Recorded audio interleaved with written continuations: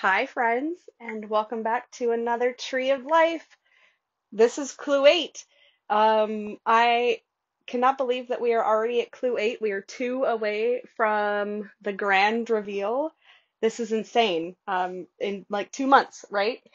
I think it's November. We'll um, have we'll be putting together this quilt, and um, it's been quite the journey. Um, so this is the redwood colorway um, in the small size. There is one style of block. There are four of them, and it took me about 40 minutes to do this clue. Um, I took my time, um, and so make sure that you take your time, um, but let's go ahead and jump right into the inventory. Okay, let's get to the inventory for this small clue. It's clue eight of Tree of Life, um, and I'm doing the redwood colorway. If you are doing a different colorway, but you're doing the small, all of your quantities for your lettered fabrics will be the same. They'll just look a little bit different. All right, so let's get to it. We have in our small triangles, eight fabric A, eight fabric B, and eight fabric D. In our small squares, we're going to have eight, four fabric A, four fabric B, and 12 fabric D. And then in our medium or largest triangles, um, you're going to have four of fabric F. All right, let's get to sewing. All right, let's get to sewing. Um, this clue is making four blocks all the same. Um, and there are eight steps. So I think this should go relatively quickly. Um, looks like we only have really one set of flying geese in this one. Um, so that's a relief. Um, but yeah, looks like it should go pretty quickly. I am going to uh, speed up the video so you won't be able to really follow along with me. Um, but I hope you enjoy the video and I will see you at the end.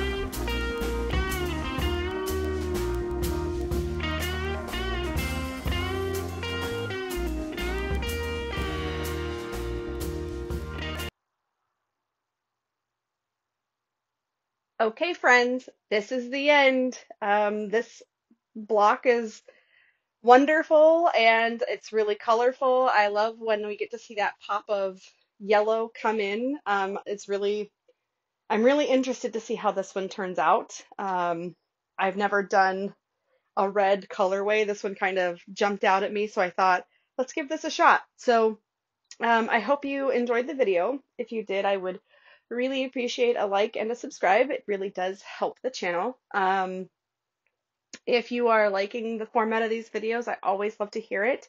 Um, I hope you're having a wonderful month. Um, no matter what time you are watching this video, um, and I hope that it was, um, it's a good sew for you. Take your time. I always, not always, I struggle with this one, this kind of block where it has that, like this shape right here, because I always feel like I put one of them on wrong. So I think this is the block that I seam ripped. I did three in one day, so I was like, I don't remember which one I seam ripped, but I think it was this one. So if I seam ripped this one, it might not take you quite as long. Um, but just be patient, take your time, and uh, yeah, don't forget to take a picture with your flat Nancy and post it to the website if you have been doing that.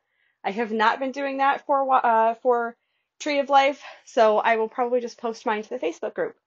Um, and I will see you in the next video. Bye!